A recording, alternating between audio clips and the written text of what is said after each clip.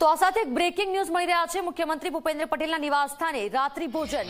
તમામ મંત્રીઓને રાત્રિ ભોજનનું આમંત્રણ આપવામાં આવ્યું છે. આંતરરાષ્ટ્રીય મિલેટ વર્ષની ઉજવણીના ભાગરૂપે ખાસ આયોજન કરવામાં આવ્યું. દિલ્હીમાં અગાઉ પીએમ મોદીની ઉપસ્થિતિમાં આ ઉજવણી કરાઈ હતી. આંતરરાષ્ટ્રીય મિલેટ વર્ષની ઉજવણીના ભાગરૂપે ખાસ આયોજન કરવામાં આવ્યું છે.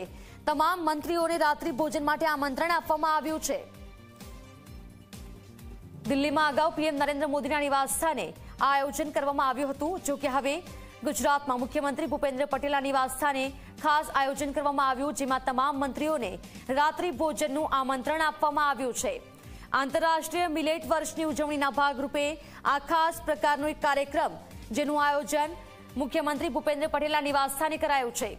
સંવાદદાતા હિતલ પારેખ ફોનલાઈન પર જોડાયા છે. હિતલ જે રીતે દિલ્હીમાં અગાઉ પીએમ નરેન્દ્ર મોદીના નિવાસસ્થાને આયોજન કરવામાં આવ્યું હતું, તે જ રીતે મુખ્યમંત્રી ભૂપેન્દ્ર પટેલના નિવાસસ્થાને તમામ મંત્રીઓને ભોજન માટે આમંત્રિત કરવામાં આવ્યા છે.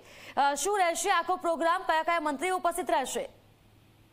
જી, ચોક્કસ એવું શકાય કે મુખ્યમંત્રી ભૂપેન્દ્ર પટેલના નિવાસ સ્થાને રાત્રિ ભોજનનું આયોજન કરવામાં આવ્યું છે અને રાજ્ય સરકારના તમામ મંત્રીઓ આ રાત્રિ ભોજનમાં આમંત્રણ આપવામાં આવ્યું છે. આંતરરાષ્ટ્રીય મિલેટ વર્ષની અત્યારે ઉજવણી થઈ રહી છે અને મિલેટ વર્ષની ઉજવણી અંતર્ગત જ આ રાત્રિ ભોજનનું આયોજન કરવામાં આવ્યું છે. સ્વાભાવિક છે કે પ્રધાનમંત્રી દ્વારા અગાઉ કરવામાં આવ્યું છે. હવે મુખ્યમંત્રી દ્વારા રાજ્ય સરકારના મંત્રીઓ માટે આ પ્રકારનું આયોજન કરવામાં આવ્યું છે. જી.